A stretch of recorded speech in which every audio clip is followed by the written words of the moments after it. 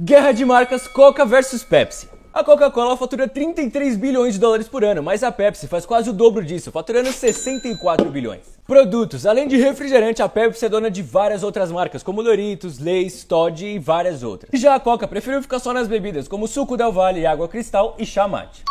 Quem nasceu primeiro? A Coca-Cola foi criada em 1886 por John Pemberton, já a Pepsi nasceu 12 anos depois. Então, esse aqui é o primeiro logo da Coca-Cola e esse aqui é o primeiro da Pepsi. Obviamente a Pepsi copiou a Coca-Cola. A Pepsi já contratou grandes estrelas para fazer comerciais, tipo Beyoncé, Madonna e até o Michael Jackson. Já a Coca-Cola contratou a Anitta, o Lua Santana e o Projota. Eu fiz uma enquete no meu Instagram e muita gente preferiu a Coca-Cola. Então, Coca-Cola. Sabor.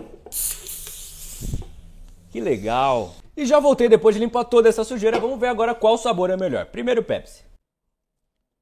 Embora a Pepsi tenha espirrado na minha cara, Pepsi ganhou. Guerra de marcas McDonald's versus Burger King. Além do McDonald's faturar 3 bilhões a mais que o Burger King, os lanches são mais baratos. O McDonald's tem mais de 38 mil lojas em 120 países, enquanto o Burger King tem só 15 mil.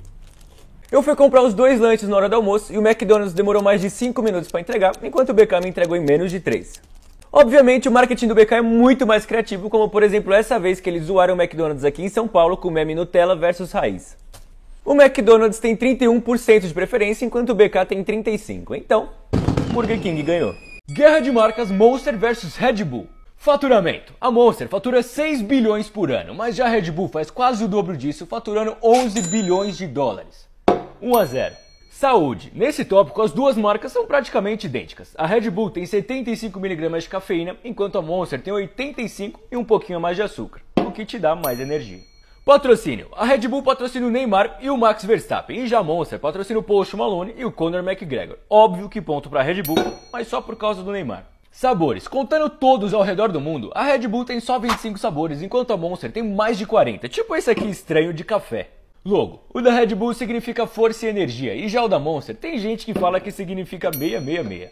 O slogan da Red Bull é Red Bull te dá asas, e acredite ou não, eles já foram processados por propaganda enganosa e tiveram que pagar 13 milhões de dólares. Então vou dar um ponto de graça. Fórmula 1, a Red Bull tem duas equipes, mas a Monster tem o Hamilton. Então, Monster ganhou. Guerra de marcas, Pizza Hut versus Domino's. E vamos começar com um teste de tempo. Eu já fiz o pedido das duas pizzas aqui no aplicativo ao mesmo tempo e agora é só esperar para ver qual vai chegar primeiro.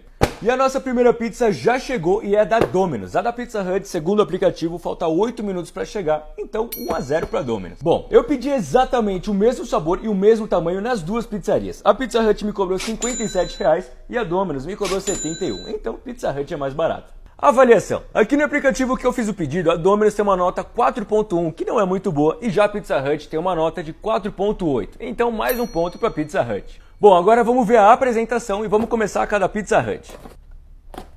Vamos ver, vamos ver. Olha isso, mano. Lá, vamos ver, vamos ver. Nossa senhora, mano. Ô, oh, juro, essa aqui tá mais bonita que a da Pizza Hut. A apresentação a Domino's já levou. E eu sei que não parece, mas essas duas pizzas são do mesmo sabor, que é frango com catupiry. Vamos ver agora qual dessas é a melhor. Vamos começar com a da Pizza Hut. Bom, pra Pizza Hut eu vou dar uma nota 8. Vamos ver agora a pizza da Domino's. E sem dúvida nenhuma, a da Domino's é muito melhor, então Domino's ganhou. Guerra de marcas Pringles versus Ruffles. A Ruffles fatura 1,5 bilhões de dólares, enquanto a Pringles fatura um pouquinho mais, chegando a 2 bilhões. Aqui no Brasil, as batatinhas Ruffles são líder de mercado há mais de 30 anos. Todo mundo fala que a Ruffles tem mais ar do que batatinha dentro da embalagem, mas na verdade, eles fazem isso de propósito para proteger durante o transporte. A Pringles tem mais de 100 sabores no mundo inteiro, enquanto a Ruffles tem um pouquinho mais que 10.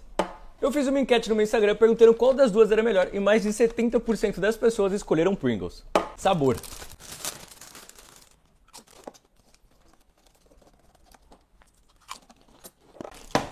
Ruffles ganhou. Recentemente a Ruffles também lançou uma nova versão de tubo igualzinho a Pringles e eles ficaram um pouco bravos com isso e mandaram um recado para eles. É uma enorme satisfação dar as boas-vindas aos novos concorrentes que se inspiraram em Pringles. Parabéns pela tentativa de sair do tão comum e imprevisível saco.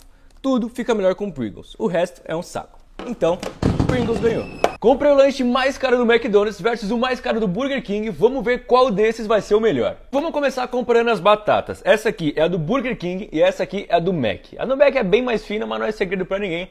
É bem melhor. Bom, vamos partir pro lanche agora. Esse aqui do Burger King eu paguei R$ 49,90 e esse do Mac eu paguei R$ 42,90. De peso e tamanho, os dois são praticamente a mesma coisa. Então vamos começar pelo do Mac. De apresentação, o McDonald's ganhou uma nota o quê? Nota 4? Nota... 3. É, nota 3, mano. Ó, o lanche parece gostoso, mas tipo, de apresentação ganhou um 3, vai. Ele tem por dentro, ó, pão, molho Tust, que é um dos melhores que tem do Mac, alface, tomate, hambúrguer, queijo prato e o principal desse lanche, que é o molho barbecue e um pão molenguinho aqui embaixo. Vamos dar uma mordida, vamos ver o sabor dele, para depois comparar com o do Burger King. Nossa. Mano, que combinação, juro. Pra esse lanche do Mac, mano, eu dei a nota 8 porque a combinação ficou muito top. Vamos ver agora o do Burger King. Bom, de apresentação, claramente está bem melhor que o do McDonald's. Acho que uma nota 6 é justo, né? Nota É, 6. justo, seis. Vamos ver o que tem lá dentro agora, ó. Abri aqui pãozinho, tem um molho que eu não imagino do que seja, um bacon que parece estar muito bom, cheddar pra caramba. Tem cheddar na outra carne também, mais bacon. Caraca, velho. E aqui tem um pãozinho molenga e nada na carne. Vamos ver agora o sabor. Eu acho que isso aqui já venceu, hein? Vamos ver. Mano, muito bacon. Bom, pelo sabor eu vou de Burger King. Mas e você? Prefere Burger King ou McDonald's?